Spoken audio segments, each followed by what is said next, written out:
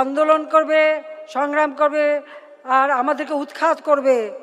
একদিকে ভালো হয়েছে, সেটা হলো এখন যদি জ্বালাও পোড়াও করে, আর এখন যদি অগ্নি সন্ত্রাস করে, এখন যদি ওরকম মানুষ খুন করে, আমেরিকার ভিসা পাবে না।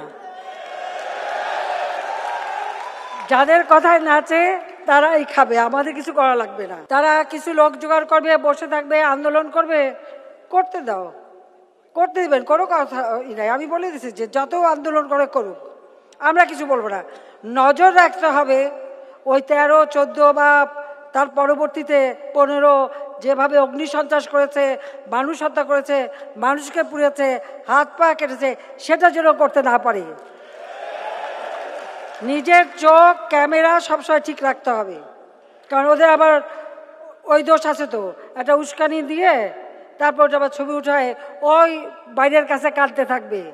জনগণের ক্ষমতায় তারা বিশ্বাস করে না। তারা মনে করে অন্য কোথাও থেকে এসে নাগরদোলায় চাপিয়ে তাদের ক্ষমতায় বসিয়ে দেবে। কেউ দেবে না। দেয় না কখনো। ব্যবহার করে। ব্যবহার করবে কিন্তু দেবে না ক্ষমতা। এটা হলো বাস্তব কথা। ক্ষমতা একমাত্র জনগণই দিতে পারে। আর সেই জনগণের সেই অধিকার জনগণের সেই সচেতনতা সেটা আমরা দিতে পেরেছি। এবং এদেশে তা মানুষ জানে।